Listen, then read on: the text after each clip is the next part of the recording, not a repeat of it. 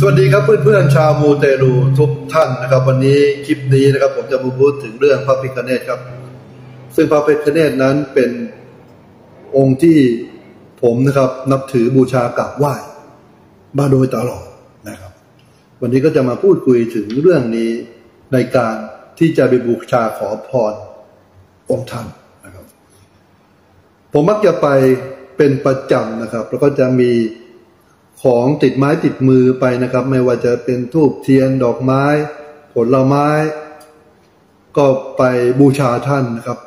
นอกจากของบูชาแล้วนะครับ ผมยังต้องเอาคุณงามความดี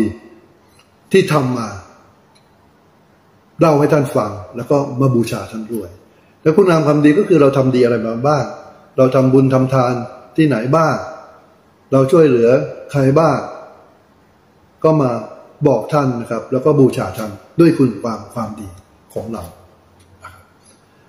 หลังจากนั้นก็ขอบคุณท่านนะครับในความสำเร็จที่ผ่านมา ในโอกาสที่ผ่านมา จากนั้นก็ตั้งใจว่าจะขอสิ่งใดในวันนี้นะครับ แล้วถ้าได้แล้วจะนำไปทำอะไร ก็นำมาดูแลครอบครัวนำมาดำเนินชีวิต และก็จะแบ่งปัน ให้กับใครบ้างก็บอกท่านไปนะครับ หลังจากนั้นก็ขอครับ ตั้งสติดีๆ มีสมาธิหลับตาครับหลับตา แล้วก็นึกถึงภาพของความสำเร็จที่เราขอ